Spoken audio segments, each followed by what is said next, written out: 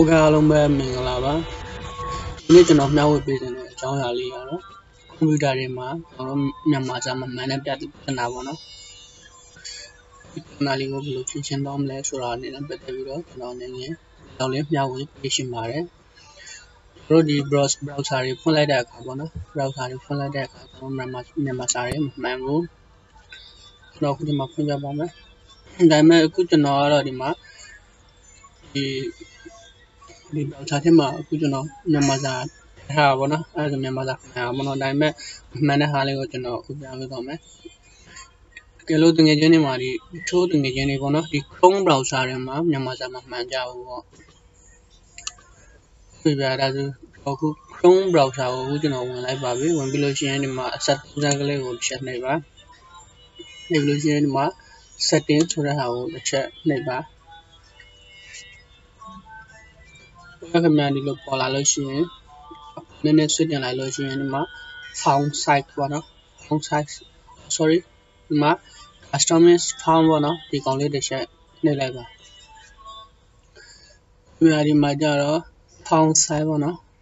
ဒါကြတော့အကြီးပေါ့နော် font အကြီးစာအကြီးသေးပေါ့ဒီမှာ standard standard font ပေါ့နော်ဒီမှာ smart doji pro ဒီနာမှာ smart doji pro ကိုကျွန်တော် ရေးထားတဲ့အတွက်မြန်မာစာမှန်တာပေါ့နော်တငယ်ချင်းတွေမှာတကယ်လို့ဒီညမှာ smart doji pro ဒီဦးဆိုရင်တော့ဒီမြအချုံလေးနှိပ်ပြီးတော့ဒီညမှာ smart smart doji pro ဆိုတဲ့ဖောက်လေးကိုရွေးပြီးတော့ကျွန်တော်တို့ဒီမှာ select ပေးလိုက်လို့ရှိရင်တော့ဒီမြန်မာစာမှန်မှာတွေ့ကြပါတယ်ဟုတ်ခင်ဗျာအဲ့ဆိုရင်ဒါကမြန်မာစာမှန်အောင်လုပ်တဲ့နေ့ပေါ့နော်တကယ်လို့ smart Zoji Pro မရှိဘူးဆိုရင်လည်းကျွန်တော်လည်းဒီ comment အောက်မှာရေးခဲ့ပါကျွန်တော် link ပြပေးပါမယ်အခုလောလောဆယ်ကကျွန်တော် link မထုတ်ထားသေးလို့ပါဒါကြတော့ site အကြီးသေးပေါ့နော် site အကြီးသေးရွေးတာပေါ့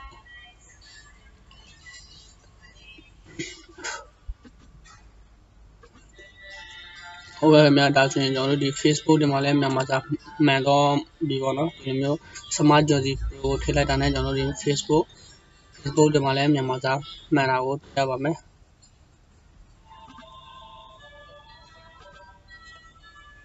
ဟုတ်ကဲ့ခင်ဗျာအဲဆိုရင်ကျွန်တော်ရဲ့ဒီ